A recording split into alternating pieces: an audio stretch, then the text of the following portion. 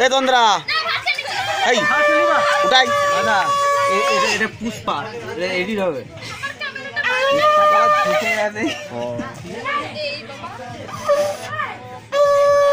A I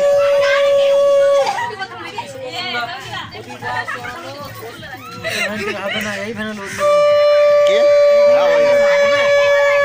ভ্যানগুলো আগে বলে দিয়ে আসবি। কেন? 给我等着啊